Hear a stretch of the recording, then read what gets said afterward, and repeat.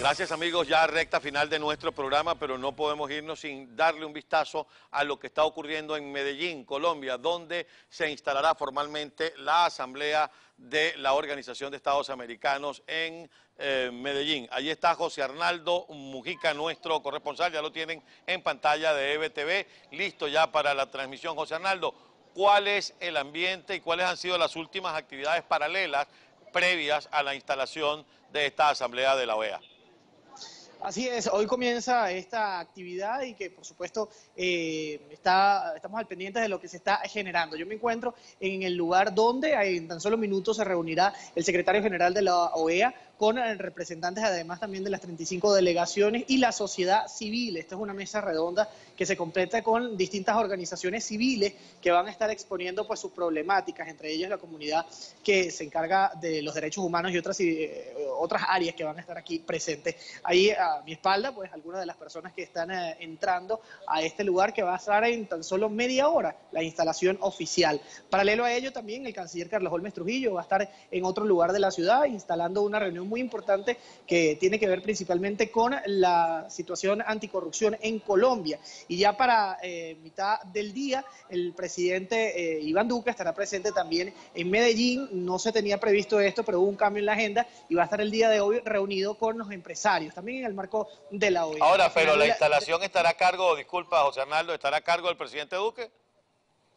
No, la actividad va a ser con eh, los representantes de, eh, los, eh, de las empresas colombianas. Va a ser una no, perdón, este permíteme, lo que te pregunto es que si la instalación de la Asamblea de la OEA estará a cargo del presidente Duque o solamente va a estar el canciller y el secretario general Almagro.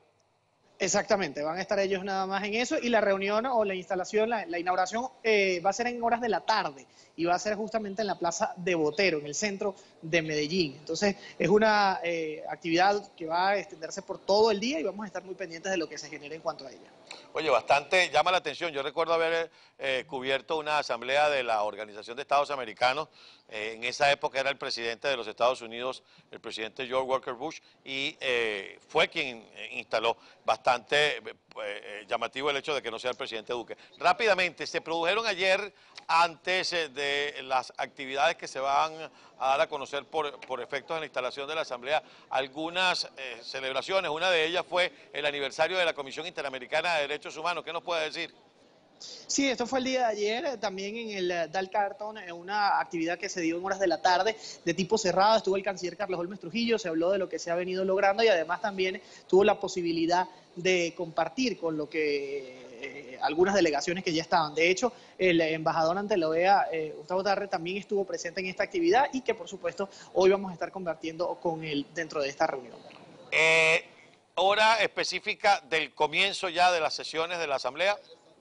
Esto va a ser en media hora esta primera reunión con la sociedad civil eh, y paralelo, como lo, veníamos comentando, en otro lugar de la ciudad eh, va a estar el canciller Carlos Holmes Trujillo y el presidente Iván Duque en otra reunión. Es que son varias agendas las que se están manejando. Y para las 7 de la noche se espera la eh, inauguración oficial en la Plaza de Botero. Bien, muchísimas gracias, José Arnaldo. Pendientes entonces de tu reporte, José Arnaldo Mujica, desde Medellín, Colombia. Amigos, el programa de hoy bastante duro, muy lleno de informaciones. Hemos tenido eh, con nosotros a Carla Angola y eh, durante la mañana de hoy, como dijimos, vamos a presentar buena parte de la entrevista realizada al comisario Iván Simonovich, donde revela lo que han sido estos 14 años de presidio y sobre todo cómo logró evadirse y estar ahora libre aquí en los Estados Unidos. También pendientes de José Pernalete, en minutos vamos a tener un avance desde el lugar donde va a celebrarse la primera jornada de las dos previstas para el debate del Partido Demócrata para, eh, de cara a la escogencia del candidato presidencial que se enfrentará a Donald Trump en el mes de noviembre del año 2020. Hemos llegado al final de este programa. Quiero reiterar a nuestro amigo, bájalo si es tan amable, eh, Will, a nuestro amigo Richard Blanco, nuestra palabra de pesar y de solidaridad y de pésame por el sensible fallecimiento de su madre en Caracas, mientras él está en el exilio en Argentina, perseguido por el régimen de Nicolás Maduro. La productora de este espacio es María Fernanda Soledad, asistida por Isabela eh, Pérez, nuestro director Carlos Frick, el ingeniero Wilmer Marchena en el audio y en el video, Orlando Barranco en la transmisión y Rafael Párraga detrás de esas cámaras. Yo soy Carlos Acosta y les invito a continuar con la programación de EBTV. Ya viene Rita de Martino con un avance especial desde el lugar del debate con José Pernalete, luego la retransmisión del espacio al cierre con Cheina Chan y Leopoldo Castillo y por supuesto pendientes durante todo el día de nuestra programación, el debate, la OEA y por supuesto la entrevista realizada por Carla Angola a Iván Simonovic. Que Dios bendiga a Venezuela, los proteja a todos los venezolanos donde quiera que se encuentren. Música